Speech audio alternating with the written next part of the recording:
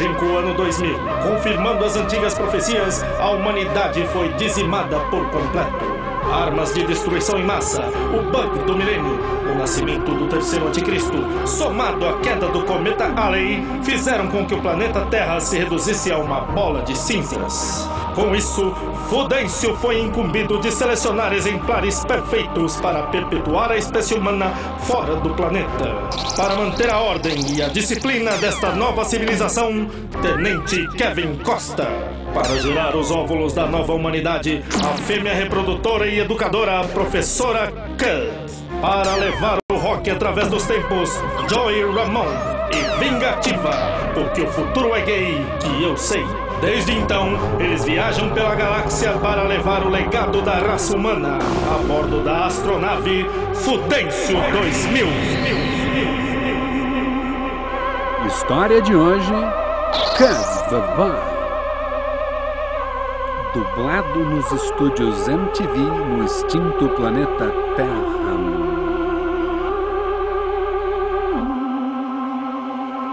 Estimado telespectador, advertimos que esse episódio não tem a menor graça. Para auxiliá-lo na compreensão das possíveis piadas, fique atento a este selo. Cada vez que ele surgir na sua tela, é sinal de que você está assistindo a uma possível piada.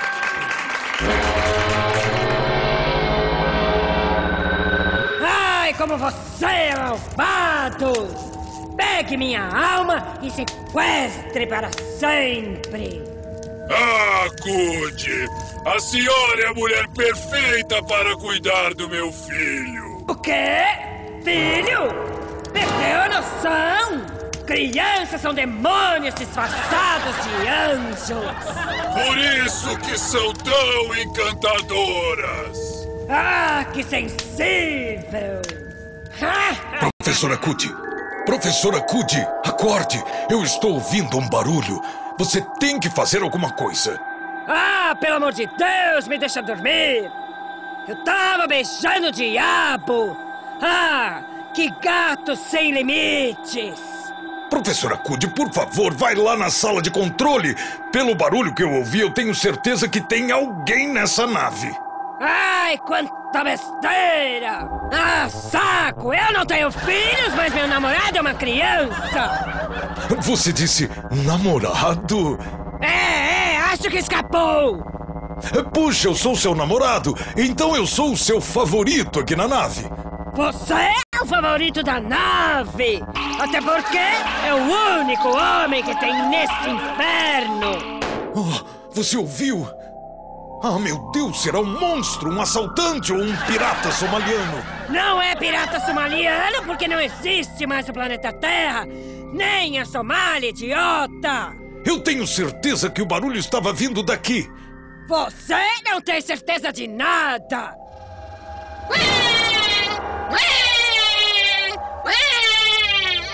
Oh! Mas o que é isso?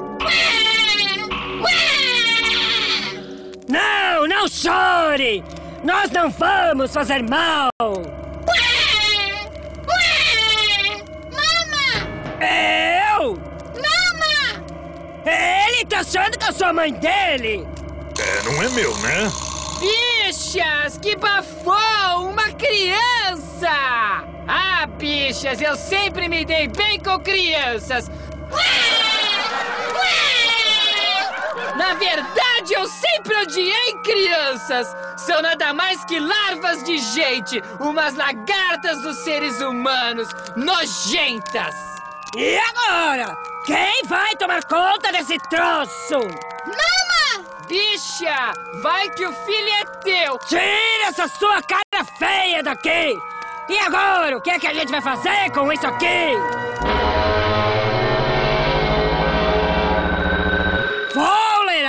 Para você. Teste. Você é uma mulher submissa? Hum, será? Quando aquele ex-namorado passa na sua frente, A. Você corre atrás dele? B. Você grita por ele? C. Você joga sua bebida nele, aquele canalha? C. Lógico! Aqui, bonitinho! Mama! Vamos, meu bem, que já está na hora de dormir! Ah, que homem tesudo! Ah, Cutie! Você é uma ótima mãe! Ah, imagine! Ele nem dá tanto trabalho assim! Dá sim! Mas não se preocupe, que seus dias com ele acabaram! O quê? Como assim acabaram? Eu vou levar a criança embora! E pra onde?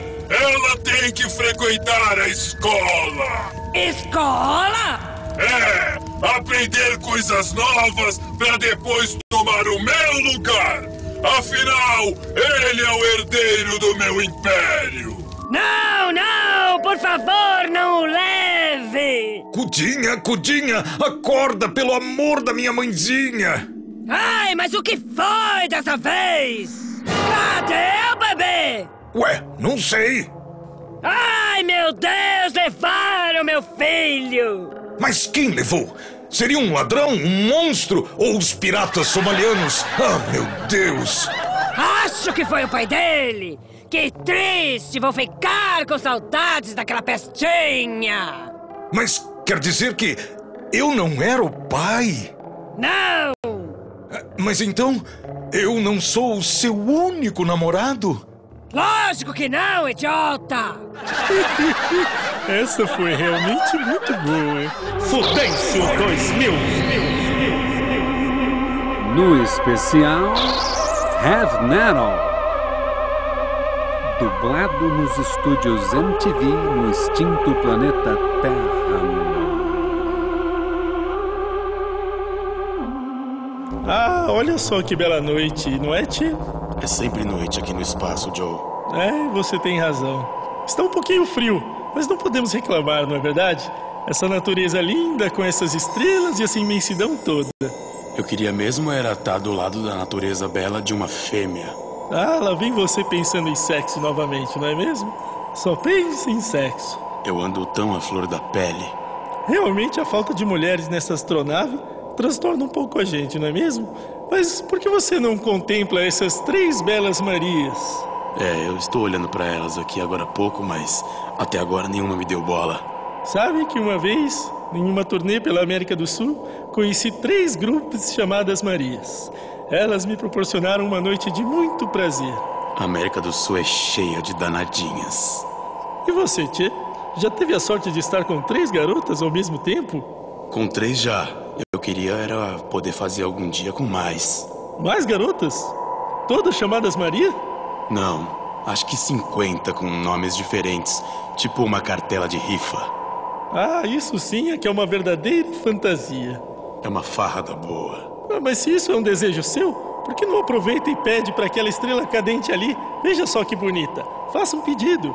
Tá bom. Papai do céu, mande pra mim 50 garotas com nomes diferentes, como uma cartela de rifa. Eu tenho certeza que o seu desejo será realizado. Oi, amiguinhos, tudo bem com vocês, bicharada? O que que vocês estão fazendo aqui que não me chamaram, hein? Olha, tá vendo? Deus não tarda e também não falha. É claro que falha. Ele me mandou uma mulher do ano 2000 com bunda, peito e piu-piu.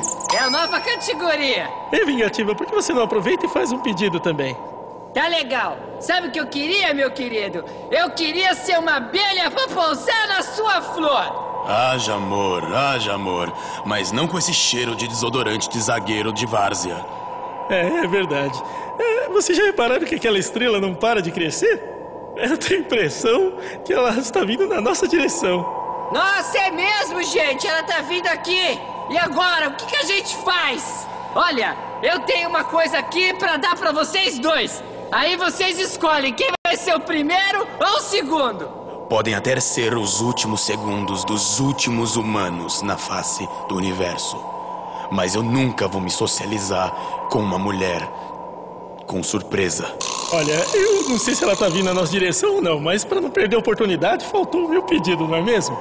Querido e finado Papai do Céu, eu gostaria que eu tivesse mais cinco pedidos. Porra de pedido idiota é esse, Joe? Então eu quero que os pedidos dos Joey sejam pedidos meus. E eu vou fazer tudo agora. Gente, eu tenho a impressão que aquela estrela está vindo na nossa direção. Será que não é o caso de fazermos alguma coisa? Lançarmos um míssil ou, sei lá, um CD novo? Chega, gente! Olha só! Vocês não perceberam nada ainda!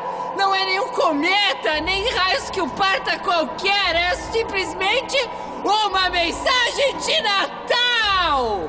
Olha, gente, realmente. Eu tenho a impressão que é a estrela de Belém e ela está vindo na nossa direção. Ela vai trazer paz, amor e harmonia para a nossa nave. Ah, nesse caso, então, eu fico mais tranquilo. Porque é uma mensagem divina chegando delivery, chegando bem na nossa porta. É um momento de confraternização. E você aí de casa, aproveite esse momento e abrace os seus familiares. Lembrem-se daqueles que passam necessidade. Aproveitem e pensem assim: não importa se quem está do seu lado é uma picha, ou uma pessoa desqualificada, ou até mesmo um doente semi-morto. Então que esse cometa e essa estrela de Davi seja importante para levar um Natal mais igualitário, um Natal mais unido, um Natal mais social, um Natal em que as pessoas compartilhem e recebam os mesmos presentes. Um Natal melhor, um Natal do povo, a força do povo, um Natal sem mais-valia, um Natal soberano, um Natal socialista. Então, rapazes, por que não aproveitamos esse momento feliz e cantamos então uma música de Natal? Vem, vamos embora, que esperar não é saber. Quem sabe faz a hora, não espera acontecer.